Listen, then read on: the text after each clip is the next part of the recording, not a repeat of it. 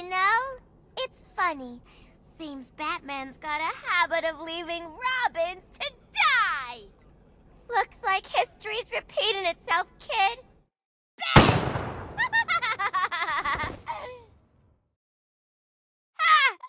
Joker told me Robins die easy. For a second there, I thought he was gonna punch through the bars. Did he do that? Open the gate now! No problem. First she said shut the gate, now she wants it open. I think she's gone crazy. That, dumbass, is why you're not paid to think. It's some kind of bat trick. Show yourself, B-Man, unless you ain't got the guts. Oh, look who it is. Batman's little helper. Looks like he left you all alone. Nah, he figured I could handle you by myself. He doesn't take you very seriously. Neither do I. Ooh! He's asking for it. Oh, think you're funny, huh? Open the gate! For real this time! If you think you're taking him back to the cell, think again! He's got the Joker in him. They all have.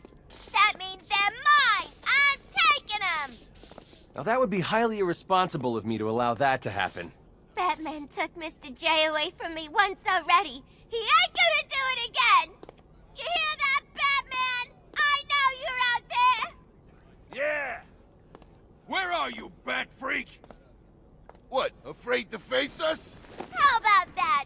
You're a trigger pull away from getting your little bitey brains blown out, and your boss don't care one bit! Ain't that right, B-Man? Joker always said the bat was mean. Didn't care about no one but himself. Not like Mr. J. Ugh, is this gonna go on much longer? He looked after me. Loved me with all his heart. He would have never abandoned me. Not like that big cap. No one puts their hands on the boss lady. Ugh, you won't get away with this.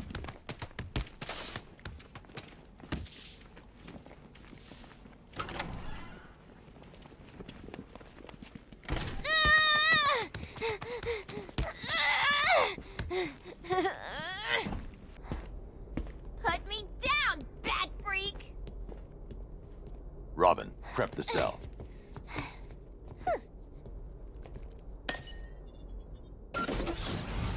No, no, no! You killed them, didn't you, Henry? Honey, I'm home! Activating jailbreak protocol. What are you doing? Purifying the gene pool.